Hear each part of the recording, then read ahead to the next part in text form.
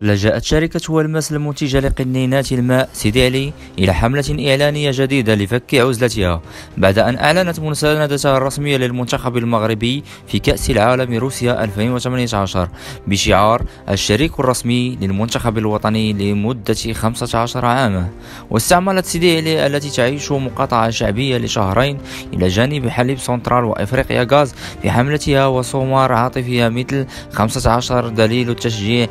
15 سنة ديال الأحاسيس 15 سنة وسيدي علي على الراعي الرسمي للأسود. وفي رسائل تبدو استجدائية لتعاطف المغاربة روجت سيدي علي لحملتها عبر صفحات التواصل الاجتماعي وعبر صفحتها الرسمية بهاشتاغ ديما المغرب 15 سنة ديال العشرة. واعتمدت الشركة المشمولة بالمقاطعة الشعبية إطلاق زجاجات صغيرة مع تصميم مخصص لكأس العالم مع وجود علامات حمراء تحمل أرقام المنتخب الوطني.